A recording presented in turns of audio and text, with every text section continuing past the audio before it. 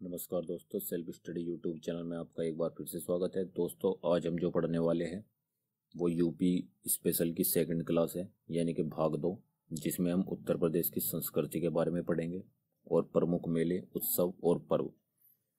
ठीक है दोस्तों तो चलिए शुरू करते हैं। दोस्तों, ये है उत्तर प्रदेश की संस्कृति, जिसमें यूपी में सांस्कृतिक विभाग की स्थापना कब हुई? ये आपकी उन्नीस सौ सत्तावन में हुई थी। उत्तर प्रदेश संगीत नाट्य अकादमी, लखनऊ उन्नीस में स्थापना हुई थी। और राज्य ललित कला अकादमी, लखनऊ उन्नीस सौ बासठ में हुई थी। और भारतेंदु नाट्य अकादमी की स्थापना 1975 लखनऊ में हुई थी। और राष्ट्रीय कथक अकादमी, इसकी लखनऊ उन्नीस सौ अठासी से नवासी के बीच में स्थापना की गई थी। और यूपी जैन विद्या शोध संस्थान लखनऊ 1990 में स्थापना की गई थी। आगे देखते हैं। इसके बाद आपका आता है यूपी के प्रमुख मेले, उत्सव और पर्व। यूपी में वैसे तो लगभग 2250 तरह के मेले लगते हैं, लेकिन जो सर्वाधिक मेले लगते हैं वो मथुरा में लगते हैं। इसमें से कुछ जो इम्पोर्टेंट है वो हमने छाट कर टॉप तीस बनाए हैं तो इन्हें आप देखिएगा। जो कुंभ का मेला लगता है, ये प्रयाग में लगता है प्रत्येक बारह वर्ष में। और जो अर्ध कुंभ मेला लगता है, ये भी यूपी के प्रयाग में लगता है छः वर्ष में। और जो माघ मेला लगता है, ये भी प्रयाग में लगता है हर वर्ष माघ के माह में। और जो पशु मेला लगता है और पटेश्वर मेला, जिसे कहते हैं, ये आगरा में लगता है, जिसे ऊँट मेला भी कहते हैं। और आपका देवस शरीफ मेला, ये आपका बाराबंकी में लगता है। नौचंदी जो मेला लगता है, ये मेरठ में लगता है, होली के बाद। आगे देखते हैं।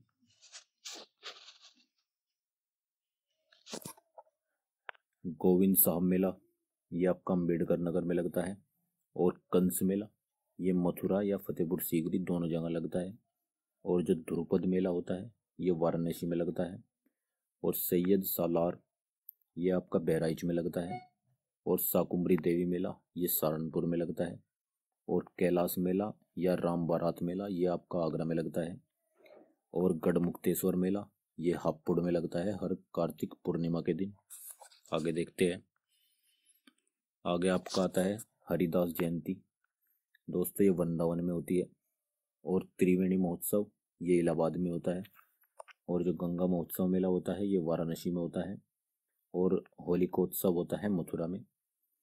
परिक्रमा मेला या रामनवमी मेला ये अयोध्या में लगता है और कबीर मेला ये मगहर में लगता है, संत कबीर नगर में। रामायण मेला आपका चित्रकूट में लगता है। आगे देखते हैं। आगे दोस्तों आपका देवा मेला ये लगता है बाराबंकी में, ठीक है? और मानकपुर मेला या रामनगरीय मेला ये फरुखाबाद में लगता है। श्रावणी में या श्रावणी मेला भी बोल सकते हैं, या ढाई घाट मेला, ये शाहजहाँपुर में लगता है, गोला, गोकर्णनाथ मेला, ये लखीमपुर खीरी में लगता है, और कलिंजर मेला, ये एक बार परीक्षा में पूछा भी गया है, कलिंजर मेला बांदा में लगता है, और लठमार होली, ये भी फ़ेमस है, ये बरसाना पड़ता है मथुरा के पास में, होली पर वहाँ लगाया जाता है, और आयुर्वेद महोत्सव, ये झांसी में होता है, और बिठुर गंगा महोत्सव ये आपका कानपुर में होता है और कजली महोत्सव, ये महोबा में मनाया जाता है। आखिरी देखते हैं।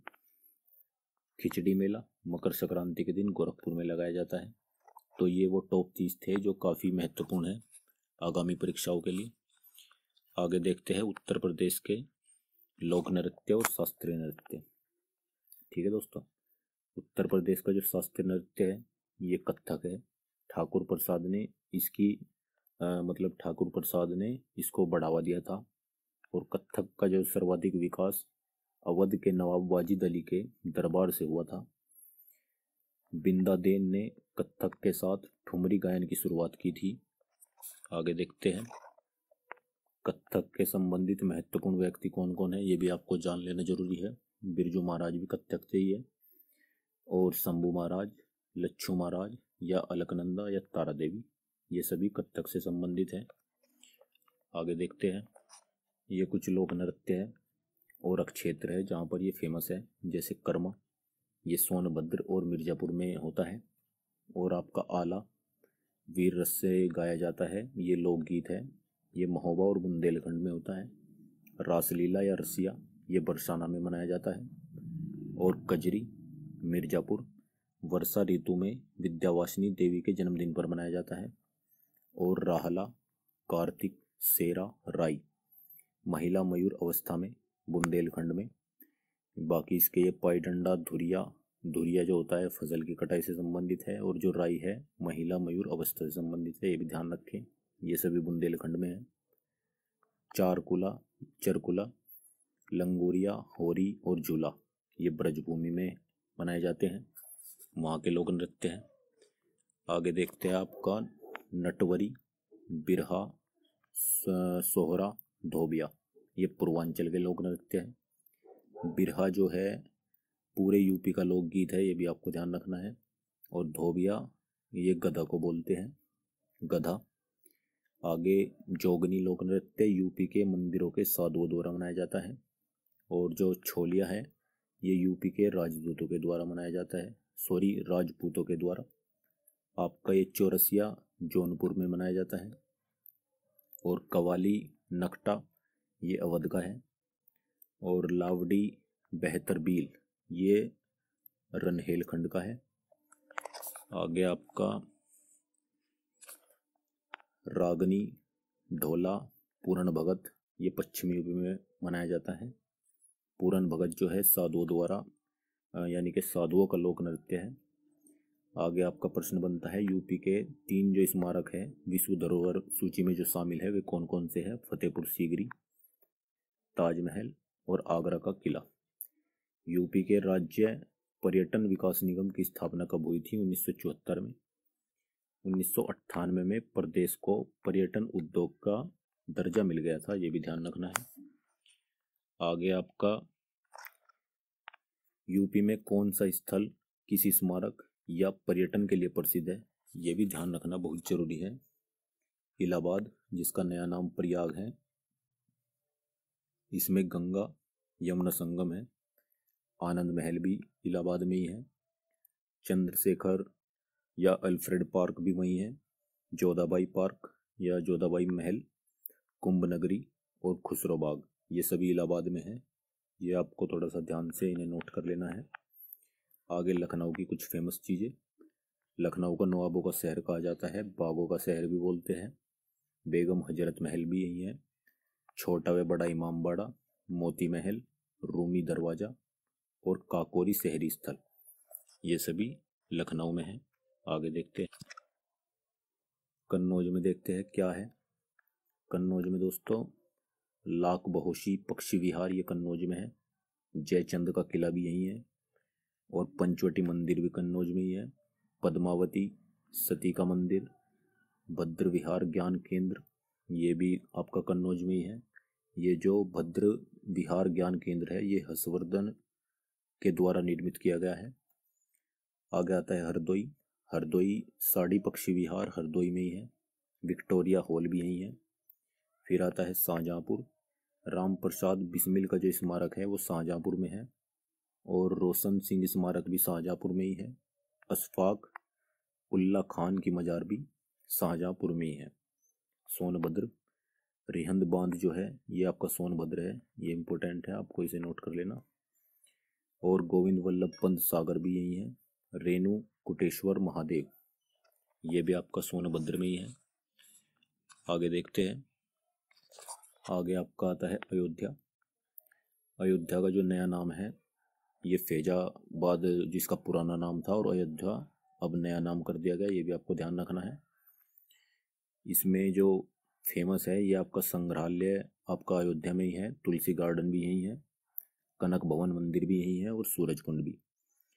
आगे आता है वाराणसी। विश्वनाथ मंदिर, रानी अहिल्याबाई द्वारा जो बनाया गया था, ये वाराणसी में ही है। गंगा के चुरस्सी घाट भी यही है और मार कंड्या मंदिर भी यही है। देश की सबसे ऊँची बुद्ध प्रतिमा अस्सी फीट की है जो, वो भी यही है। बुद्ध थीम पार्क भी यही है। अशोक के स्तंभ भी वाराणसी से ही है, आपको पता होगा। और साक्षी विनायक मंदिर भी यही है। संकट मोचन मंदिर भी वाराणसी में ही है। आगे देखते हैं आगरा में। आगरा में दोस्तों ताजमहल है, लाल किला है। जिसे आगरा का किला बोलते हैं। अकबर का मकबरा, सिकंदरा, फतेहपुर सीगरी और दीवान खास। ये पूछा गया था पिछली यूपी पुलिस की परीक्षा में। पंचमहल, जामा मस्जिद, बुलंद दरवाज़ा और जोधाबाई महल, शेख सलीम चिश्ती की दरगाह।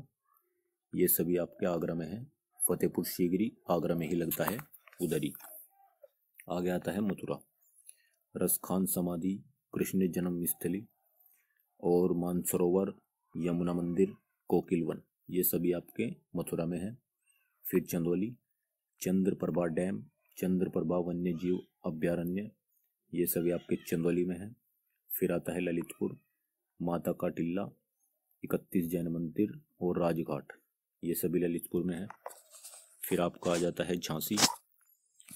झांसी में दोस्तों, झांसी का किला, रानी महल लक्ष्मी मंदिर और गणेश मंदिर, राजकीय संग्रहालय, ये सभी झांसी में है। फिर कुशीनगर, राम जनकी मंदिर, बिरला बुद्ध मंदिर, बुद्ध का शयन और मुद्रा विशाल मंदिर, महापरिनिर्वाण मंदिर, ये सभी कुशीनगर में है। फिर आता है कानपुर कानपुर में बिठुर है, जेके मंदिर है और वाल्मीकि भी यहीं पर है। फिर आता है एटा एटा में पटना पक्षी विहार है, जो कि सबसे छोटा है। और आंतरिजिखेदा भी आपका एटा में ही है। फिर आता है गोरखपुर। गोरखपुर में गोरखनाथ मंदिर है। चोरी चौरा भी यही है और रामगढ़ ताल भी यही है। फिर आ जाता है आपका सीतापुर। ये दोस्तों बहुत ज़्यादा इम्पोर्टेंट टॉपिक है क्योंकि यूपी पुलिस की पिछली परीक्षा में इनसे काफ़ी प्रश्न बने थे। आगे आपका आ जाता है सीतापुर। यहाँ पर तीस हज़ार तीर्थों की भूमि है। और अठासी हज़ार ऋषियों की तपोभूमि। फिर सिद्धार्थनगर इसमें कपिल वस्तु है, प्राचीन स्तूप है। गनवरिया पुरातात्विक स्थल सिद्धार्थनगर में ही है, फिर आता है मेरठ। पांडवों की राजधानी मेरठ को ही बोलते हैं। हस्तिनापुर, आलमगीरपुर, सरदार पटेल कृषि विश्वविद्यालय भी आपका मेरठ में ही है, फिर आता है बहराइच। यहाँ पर कतरनिया घाट और राजा सुहेल देव मंदिर बहराइच में है। लखीमपुर में ये फ़ेमस है। दुदुआ नेशनल पार्क आपका लखीमपुर में है।